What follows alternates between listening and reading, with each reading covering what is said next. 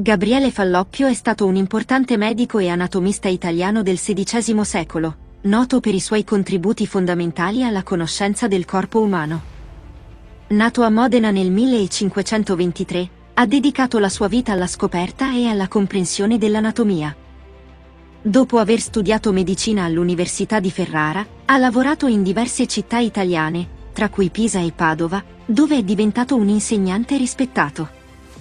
La sua scoperta più famosa riguarda le tube di Falloppio, strutture essenziali per la riproduzione femminile che collegano le ovaie all'utero.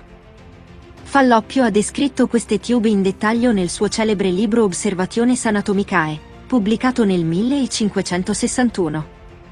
Quest'opera ha rivoluzionato la comprensione dell'anatomia e ha avuto un impatto significativo sulla medicina dell'epoca. Oltre all'anatomia, Falloppio ha anche studiato le malattie. È stato uno dei primi a suggerire l'uso del preservativo per proteggersi dalle malattie sessualmente trasmissibili, anticipando i moderni concetti di prevenzione e salute pubblica. In particolare, consigliava l'uso di una guaina fatta di lino imbevuta in una soluzione chimica, un'idea molto avanzata per l'epoca. Un'altra curiosità è il suo lavoro sulle ossa e i denti. Ha studiato in dettaglio la crescita delle ossa e lo sviluppo dei denti, fornendo basi importanti per la futura odontoiatria.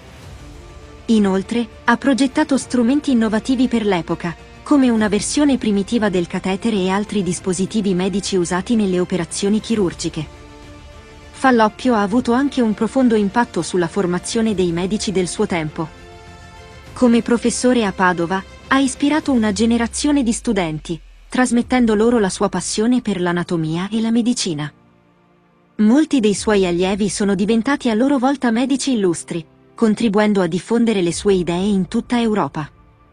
Gabriele Falloppio ha vissuto una vita breve, morendo a soli 39 anni nel 1562.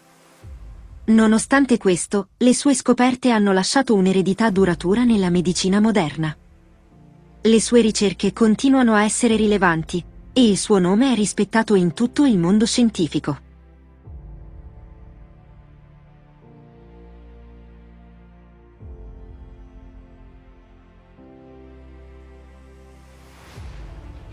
Gabriele Falloppio è stato un importante medico e anatomista italiano del XVI secolo, noto per i suoi contributi fondamentali alla conoscenza del corpo umano. Nato a Modena nel 1523, ha dedicato la sua vita alla scoperta e alla comprensione dell'anatomia. Dopo aver studiato medicina all'Università di Ferrara, ha lavorato in diverse città italiane, tra cui Pisa e Padova, dove è diventato un insegnante rispettato.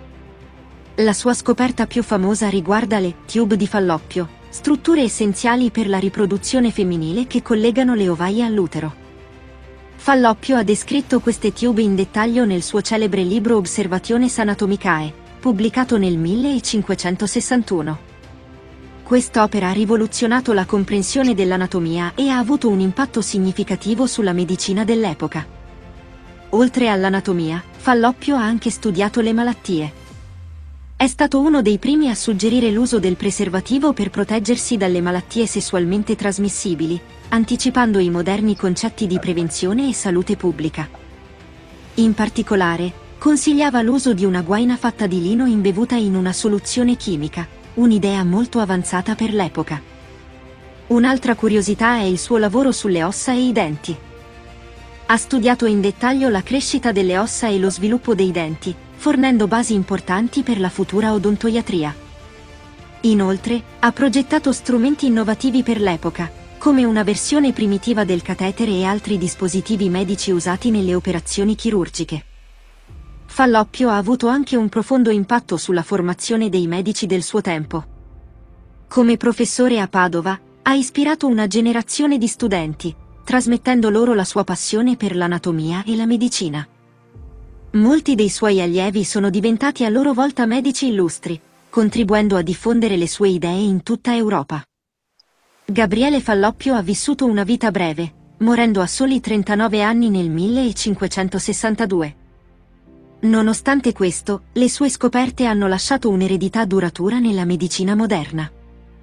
Le sue ricerche continuano a essere rilevanti, e il suo nome è rispettato in tutto il mondo scientifico.